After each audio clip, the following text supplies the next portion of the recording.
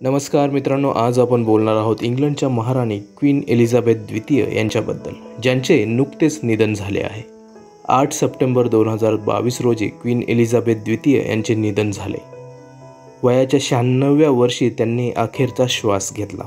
सलग सत्तर वर्ष राज्य करण्याचा विक्रम देखील त्यांच्याच नावावर होता. मित्रांनो तसं पाहिलं तर आजचं जे प्रगत इंग्लंड आपल्याला दिसतं त्याच्यामागे आपल्या भारतीयांचाच मोठा हातभार आहे.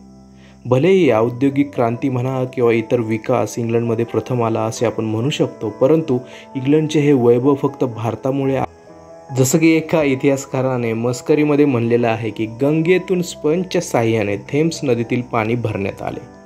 ही जी लुटालूट झाली ही जी संपत्ती भारतातून इंग्लंडमध्ये गेली त्याच्यामुळेच इंग्लंडमधली जी परिस्थिती आहे ती आपल्याला वेगळी दिसते. मुद्द्यावर येऊयात. एलिझाबेथ द्वितीय यांचे खरे नाव अलेक्झांड्रा मॅरी होते.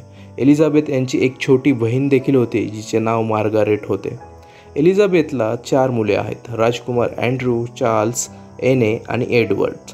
एलिझाबेथ कधीही शाळेत गेल्या नाहीत त्यांना त्यांच्या घरातच माफ करा महालातच फ्रेंच आणि संविधानाची शिक्षा देण्यात आली.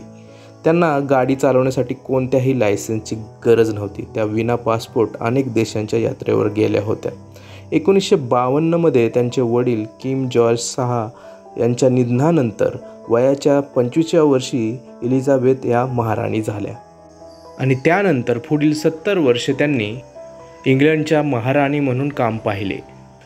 तर मित्रांनो ही होती छोटीशी माहिती क्वीन एलिझाबेथ द्वितीय यांच्याबद्दल.